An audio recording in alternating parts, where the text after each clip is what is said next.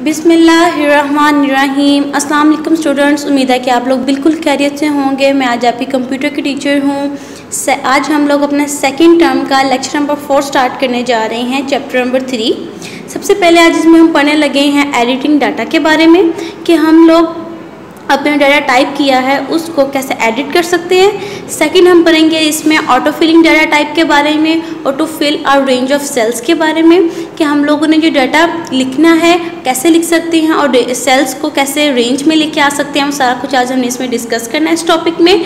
फिर हमने पढ़ना है आज एंट्रिंग ऑफ़ फॉर्मूला कि हम लोग अपने स्प्रेडशीट के ऊपर फॉर्मूलाज कैसे एंटर कर सकते हैं, क्या प्रोसीजर है, सारा कुछ ए टू जी आज हमने इसमें डिस्कस करना है। साथ ही साथ आज हमने मैथमेटिकल फॉर्मूलाज भी पढ़ने हैं। ऑपरेटर्स हमारे पास ये फोर होते हैं plus minus static and division आज हमने इन सारे फॉर्मूलाज को डिस्कस करना है अच्छे तरीके से और पढ़ना है कि हम लोग इसको स्प्रेडशीट में कैसे परफॉर्म कर सकते हैं। आपकी बुक में ज़्यादा पूरी एक्सप्लेनेशन दी गई है। अब हम आप लोग बुक से देखते हैं। ये देखें स्टूडेंट्स आपके पास फ़र्स्ट टॉपिक आता है एडिटिंग डाटा का। Editing data means doing any changes in it क्या के पास स्प्रेडशीट है? अगर आपने कोई भी डाटा लिख दिया, जैसे मंथ लिख दिया है अगर इसके स्पेलिंग गलत हो गए हैं, आप उसको एडिट करना चाहते हो तो आप उसको कोई भी डाटा जो आपके पास लिखा हुआ है इवन के फॉर्मूला हो, कोई फ़ंक्शन हो तो हम लोग उसको एडिट कर सकते हैं। उसके बाद हमारे पास आता है editing data click on the cell and retype the text कि हम लोग सबसे पहले सेल के ऊपर क्लिक करते हैं, फिर हम लोग टेक्स्ट को दोबारा से उस पर रीटाइप करते हैं। सबसे एक स्टेप ये होता है। सेकंड स्टेप हमारे पास क्या है? Go to the formula bar या हम लोग, ये हमारे पास फॉर्मूला बार है। इस फॉर्मूला बार पे जाएँगे और सिलेक्ट करेंगे the incorrect text with the mouse and retype it और माउस के साथ अगर हम उस जो हमने गलत लिखी हुई है वर्ड उसको सिलेक्ट करेंगे। देन उसको करेक्ट करके दोबारा रीटाइप करेंगे तो हमारे पास डाटा ऐड हो जाएगा। इसमें बताया ना टू मेथड्स हैं। फ़र्स्ट मेथड है कि आप लोग सेल जो आपके पास है, उसको ही क्लिक करके कर सकते हो। सेकंड है आपके पास कि अगर आप सेल के साथ नहीं कर सकते तो आपने फॉर्मूला बार पे जाना है। फॉर्मूला बार पे वर्ड लिखना है जो आपने चेंज करना है। वो वर्ड लिख के वहाँ पर स्पेलिंग न्यू स्पेलिंग जो है, उसके करेक्ट स्पेलिंग वो लिखनी है। फिर आपके पास जो डाटा के अंदर वर्ड होगा, वो ऑटोमेटिकली उसके स्पेलिंग वहाँ पे चेंज हो जाएँगे। ठीक है? फिर आता है आपके पास auto filling data auto filling is the use of the fill handle to copy data and sequence across a range of cells the fill handle is at the right corner of each cell अब देखिए, उन्होंने कहा है कि auto filling data जो होता है, वो हम लोग यूज़ करते हैं डाटा को कॉपी करने के लिए और डाटा को जिस रेंज ऑफ़ सेल्स होते हैं उनको सीक्वेंस पे लेके आने के लिए। ठीक है? और जो फिल हैंडल का जो आ, सेल होता है ये हर आ, सेल के राइट कॉर्नर के ऊपर बना होता है। हम लोगों ने इसको ऑटो फिलिंग डाटा का मतलब ये है कि हम लोग इसमें को भी हमारे पास डाटा लिखा हुआ है, उसको हमने रेंज पे लेके आना है तो उसको हम ड्रैग करके रेंज पे लेके आ सकते हैं, उसको कॉपी कर सकते हैं, उसको एक सीक्वेंस में लेके आ सकते हैं, उसको कहते हैं ऑटो फिलिंग डाटा अब वो कैसे कर सकते हैं? वो आज, अब हम आगे डिस्कस करने लगे हैं, वो देखें। अब देखिए, इसमें हम पढ़ने लगे हैं to fill a range of cells कि हमारे पास ऑटो फिलिंग डाटा की ऑप्शन कहाँ पर होती है, कैसे यूज़ कर सकते हैं उसको, वो सारा देखें। फ़र्स्ट आपके पास select the cell with the content to fill जो आपने सबसे पहले वो वाले सेल सेलेक्ट कर लेना है जिसके साथ आपने अपने डाटा को फिल करना है ऑटो फिलिंग के ज़रिए। Point at the black square that appears in the bottom right corner of the cell until the mouse pointer becomes the fill handle. आपके पास इस तरह का पिक्चर में देखें, एक बॉक्स बना हुआ है एक्टिव सेल जिसे हम कहते थे। यहाँ पे राइट कॉर्नर के ऊपर एक छोटा सा यहाँ पे निशान बना होता है बॉक्स छोटा सा ब्लैक स्क्वेयर का निशान बना होता है। अगर हम उसको ड्रैग करते हैं, उस उस निशान को ऑटो फिलिंग कहते हैं। उसके ज़रिए हम अपने डाटा को ऑटो फिल कर सकते हैं। थर्ड स्टेप है click and drag in the direction of the range to fill अगर आपने कोई रेंज फिल करनी है तो आप लोग इस वाले पॉइंट को ड्रैग माउस के ज़रिए क्लिक करते हैं. देन उसको हम ड्रैग करते हुए, जहाँ तक हमने लेके जाना होता है, वहाँ तक ले जाते हैं. नेक्स्ट पिक्चर में आप लोग देखें सी में लिखा हुआ है two four six eight ten twelve fourteen and sixteen तो उन्होंने टू से लेके सिक्सटीन तक सबको स्क्वेयर में ले ऑटोफिल करना था, इन्होंने उन्होंने हमने क्या किया? ब्लैक स्क्वेयर जो हमारे पास एक्टिव सेल था, एक, उसको ड्रैग किया और ये सारे हमारे पास आ जाते हैं। इस तरह हमारे पास ऑटोफिल रेंज बन जाती है, ठीक है? अब देखिए, हमारे पास आता है Excel copies the contents of the cell across the range that user selects this feature becomes very powerful when used with cells containing formula a lot of time can be saved by copying formula across a range of cells अगर हमारे पास इस तरह, अगर हमने कोई formula copy करना है कुछ कॉपी करना है तो हम उसको बार बार लिखते हैं। इसमें अगर हम लोग ऑटोफिल कर लें तो हमें वो चीज़ बार बार नहीं लिखनी पड़ेगी। इससे हमारे पास अपना टाइम भी सेव हो जाएगा, बहुत ज़्यादा और हम लोग थोड़े वक्त में ज़्यादा काम कर सकेंगे। तो ऑटोफिल डाटा बेसिकली हम लोग अपने डाटा को ड्रैग करने के लिए इकट्ठे एक रेंज में लेके आने के लिए यूज़ करते हैं। और हमेशा ऑटोफिल का जो साइन है वो ब्लैक स्क्योर में होता है और यहाँ पे जैसे एक्टिव सेल है उसके बिल्कुल यहाँ पर छोटा सा करके ब्लैक स्क्योर बना होता है। उसको हम क्लिक करते हैं माउस के ज़रिए उसको ड्रैग कर देते हैं तो हमारे पास ऑटोफिल डाटा बन जाता है, ठीक है? अब हमारे पास आता है next topic entering a formula क्या हम लोग अब स्प्रेडशीट के अंदर अपना फॉर्मूला कैसे एंटर कर सकते हैं? क्या प्रोसीजर है उसको एंटर करने का? पहले हमने दो चीज़ें पढ़ ली हैं एडिटेड डाटा भी पढ़ लिया ऑटो फिलिंग डाटा भी पढ़ लिया। कि डाटा का एडिट कैसे कर सकते हैं और ऑटो फिल कैसे कर सकते हैं?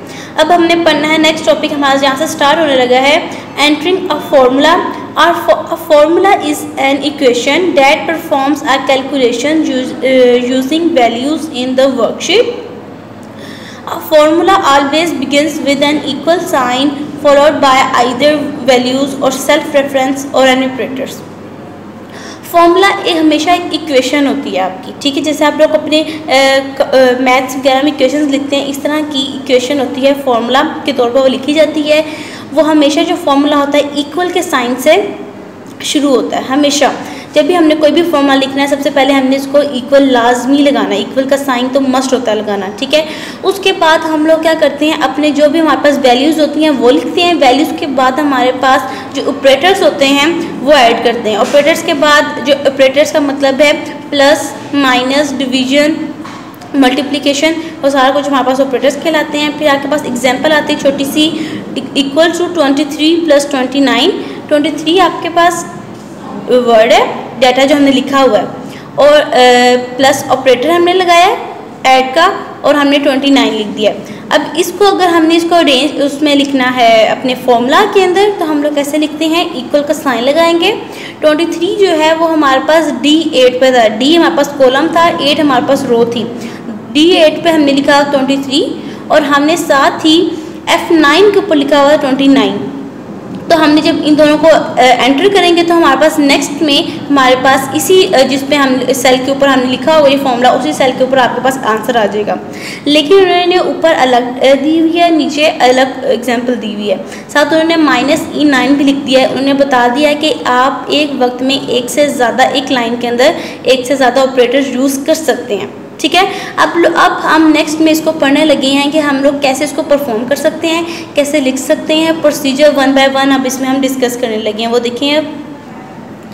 अब देखिए हमारे पास नेक्स्ट आता है कि हम लोगों ने सिंपल फॉर्मूला जो होता है वो कैसे अपने सेल्स के अंदर डाटा को लिख सकते हैं फॉर्मूलाज को लिख सकते हैं। सबसे पहले हमारे पास स्टेप आता है click the cell where the formula will be entered कि आपने वहाँ पे क्लिक करना है अपने माउस के ज़रिए जिस सेल के ऊपर जिधर आपने फॉर्मूला अपना लिखना है, ठीक है? फॉर एग्ज़ाम्पल उन्होंने दी हुई है डी थ्री डी थ्री के ऊपर आपने यहाँ पे फॉर्मूला लिखना है तो आपने यहाँ पे क्लिक कर दिया तो आपके पास ये एक्टिव सेल बन गया और ब्लैक बॉर्डर के साथ ये रिप्रेजेंट हो जाएगा। फिर आपने लिखना क्या है अब उसमें? लिखना ये है type the equal sign to let Excel know a formula is begin defined क्योंकि हमने वहाँ पे बाय डिफ़ॉल्ट चीज़ सेव कर दी है, जब भी फॉर्मूला लिखेंगे इक्वल साइन के साथ लिखेंगे। तो हमने हमेशा इक्वल साइन मस्ट डालना इधर एक्सेल में, ताकि उसको पता चल जाए कि यहाँ पे हम लोग फॉर्मूला लिखने लगे हैं। देन हमारे पास आता है click on the first cell containing a number for example B three सबसे पहले हम लोगों ने देखना है, हमारे पास फ़र्स्ट सेल होगा, उस पर लिखा हुआ है फ़र्स्ट सेल के ऊपर बी थ्री के ऊपर कोई डिजिट लिखा हुआ है, जैसे फोर्टी थ्री लिखा हुआ है। बी थ्री जो हमारे पास बी है हमारे पास कॉलम एंड थ्री जो है वो हमारे पास रो है। देन आपने देखना है प्रेस द एडिशन साइन फिर आप लोगों ने उसमें बी थ्री लिखने के बाद प्लस कर देना है एडिशन अगर आपने उसको एडिशन करना है एडिशन का साइन लगा दें। अगर आपने सब्ट्रैक्शन करना है सब्ट्रैक्शन लगा दें। अगर आपने मल्टीप्लिकेशन करना है मल्टीप्लिकेशन का लगा दें। अगर डिवीज़न करना है तो डिवीज़न का लगा दें। वो हमारे पे डिपेंड करता है। तो हमने, अब इसमें एडिशन करनी थी तो हमने ऐड का साइन लगा दिया। ताकि उसको पता चल जाए कि हमारे पास एड ऑपरेटर हमने यूज़ करना है। एड ऑपरेटर इसमें परफॉर्म होगा एक्सेल में। Click on the second cell अगर अब हमने सेकेंड सेल के ऊपर क्लिक करना है तो हमारे पास एड्रेस उसका यहाँ पे लिखा हुआ आ जाएगा। तो जो उसका एड्रेस आ रहा है वो आ रहा है सी थ्री लिखा हुआ। तो हमने बी थ्री के साथ प्लस का साइन डालना है देन सी थ्री लिख देना है। जब हम तो हम लोग इसमें एड ऑपरेटर यूज़ कर देंगे, उसके बाद हमने प्रेस एंटर करना है और click enter button on the formula bar to complete the formula जब हमारे पास फॉर्मूला अपना कंप्लीट हो जाएगा तो हम लोगों ने एंटर को क्लिक करके तो हमारे पास उसी जगह पे, उसी सेल के अंदर हमारे पास उसका आंसर निकल आएगा। इसके बाद हमारे पास आता है मैथमेटिकल ऑपरेटर्स अब हमने इसमें पढ़ना है कि हम कैसे परफॉर्म कर सकते हैं डिफरेंट ऑपरेशंस को फॉर्मूलाज के ज़रिए। नेक्स्ट हमारे पास एक टेबल बना हुआ है, उसको देखते हैं। ये देखें ऑपरेटर्स हमारे पास पहले आता है ऐड का ऑपरेटर इसका पर्पज़ होता है एडिशन करना। एग्ज़ाम्पल उन्होंने दी हुई है सबसे पहले हम फॉर्मूला में इक्वल साइन लगाएँगे। A one plus A two A one जो है हमारे पास एड्रेस है सेल एड्रेस है। हम लोग, कोई सा भी सेल एड्रेस जो हम लोगों ने अपने टाइप किया होगा, वो हम लोग यहाँ पर लिखेंगे। देन हम इसमें सब्ट्रैक्शन भी कर सकते हैं मल्टीप्लिकेशन भी कर सकते हैं और डिवीज़न भी कर सकते हैं। इन सब के साइंस यहाँ पर लिख दिए गए हैं। जब हमने मल्टीप्लिकेशन करना होगा तो हम स्टैटिक का साइन यूज़ करेंगे। जब हमने डिवीज़न का साइन यूज़ करना होगा तो हम लोग स्लैश का साइन यूज़ करेंगे। उम्मीद है कि आप लोगों को लेक्चर समझ आ गई होगी। इस पूरे लेक्चर में हम लोगों ने सिर्फ़ यही डिस्कस करना था कि डाटा एडिट कैसे कर सकते हैं ऑटोफिल कैसे कर सकते हैं फॉर्मूला को एक्सेल स्प्रेडशीट के ऊपर लिख कैसे सकते हैं और उसके कौन कौन से ऑपरेटर्स हैं। साथ इसके एक छोटा सा क्वेश्चन आपके पास शॉर्ट क्वेश्चन आता है शॉर्ट क्वेश्चन नंबर फाइव अब हमारे पास शॉर्ट क्वेश्चन फाइव था what is auto filling data feature in Excel तो हमने auto filling is the use of the fill handle to copy data in sequence across a range of cells the fill handle is at the right corner of each cell यहाँ तक इसकी definition लिखनी है। Then आपने इसकी example देनी है साथ। ये इसकी एग्ज़ाम्पल है।